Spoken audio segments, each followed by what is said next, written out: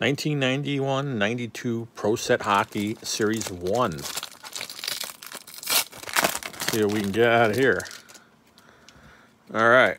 We got Ed Olczyk, Craig Ludwig, Murray Craven, Mike Vernon, Gary Nylund, Derek Smith, Dave Taylor, Tony Granato, Adam Graves, Mike Modano, we'll put him on the stand, Gary Suter, put him up there too, why not? Randy Burridge. we got Jeff Hackett, we got, what is a throwback card here to Kid Line, Toronto's terrific trio, okay. And we end with Christian Ruuttu. All right, that was it. Yell at me in the comments about who I missed. This is who I think. Let me know. All right, thanks for watching.